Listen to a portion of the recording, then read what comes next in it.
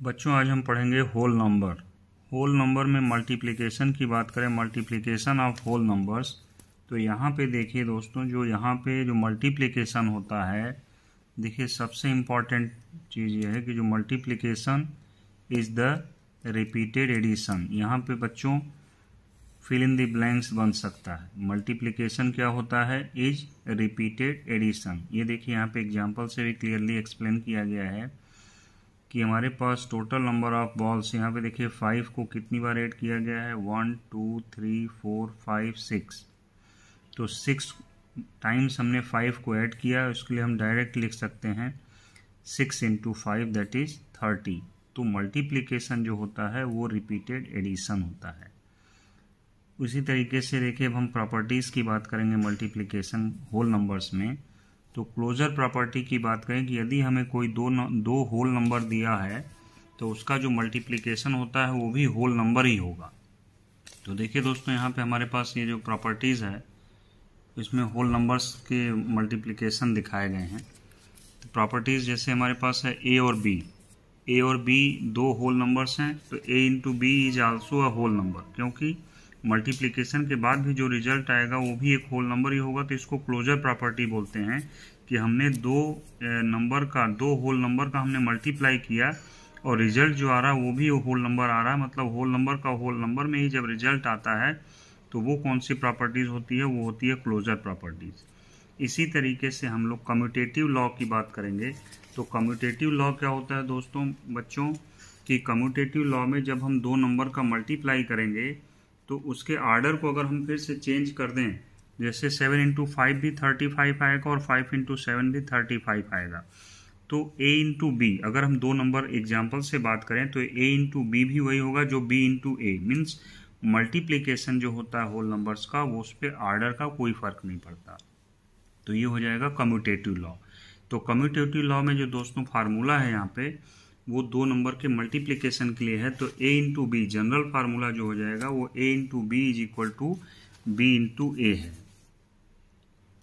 तो commutative law का जो दोस्तों फार्मूला है, वो हो गया A into B is equal to B into A जिस जिस प्रकार seven into five five into seven equal होता है तो दो नंबर में अगर हम मल्टीप्लिकेशन फाइंड आउट करते हैं ऑर्डर चेंज कर देते हैं तो वो किस लॉ को रिप्रेजेंट करता है?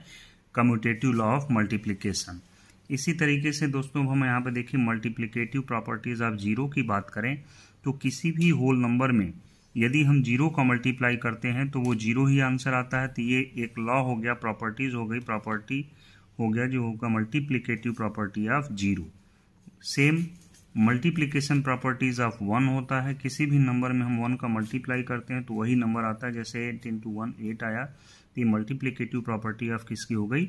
वन की। बच्चों, यहाँ पे देखिए अगली लॉ है जो है वो एसोसिएटिव लॉ है। एसोसिएटिव लॉ में क्या होता है? तीन नंबर लेते हैं। वन टू थ्री तीनों होल नंबर हैं। अब यहाँ पे देखिए जो ब्रैकेट शो कर रहा है प्रियारिटी को शो करता है कि यदि हम ए इंटू बी को पहले मल्टीप्लाई करें, उसके बाद जो रिज़ल्ट आएगा, हम सी में मल्टीप्लाई करेंगे। तो हमारा जो आंसर होगा, बच्चों, वही आएगा कि यदि हम बी और सी को पहले मल्टीप्लाई कर दें, उसके बाद ए के साथ मल्टीप्लाई करें। तो यदि यहाँ पे जो ब्रैकेट लगा हुआ है ब्रैकेट मतलब हम सबसे पहले ब्रैकेट सॉल्व करते हैं बॉडमास जो हमने पढ़ा है तो हम ए और बी का मल्टीप्लाई करने के बाद सी का मल्टीप्लाई करें, या पहले बी और सी का मल्टीप्लाई कर लें, उसके बाद ए का मल्टीप्लाई करें, दोनों, तीनों, ये जो रिज़ल्ट आएगा दोनों साइड का, वो इक्वल होगा। तो जब हम तीन नंबर में लेकर के इस तरीके से प्रियारिटी के वाइज या ब्रैकेट अप्लाई करते हैं तो वो हो जाता है एसोसिएटिव लॉ इन मल्टीप्लीकेशन अगला लॉ है distributive law of multiplication over addition. तो यहाँ पे देखिए ए इंटू ब्रैकेट में बी प्लस सी लगा हुआ तो बी प्लस सी क्या है? दो नंबर है।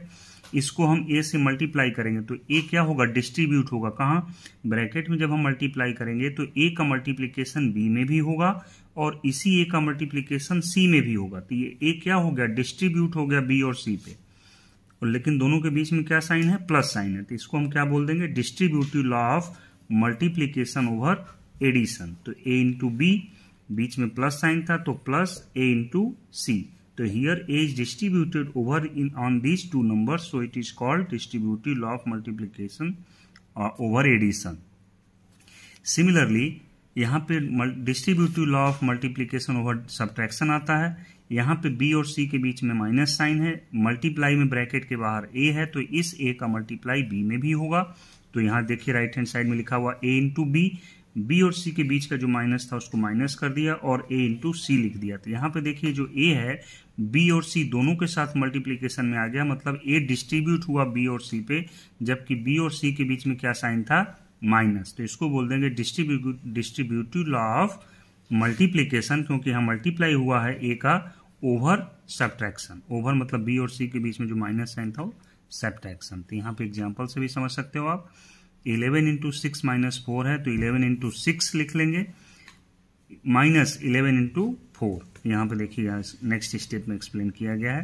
तो इलेवन इंटू सिक्स हो गया sixty six, minus forty four तो आंसर आ गया ट्वेंटी टू। तो these are the properties of whole number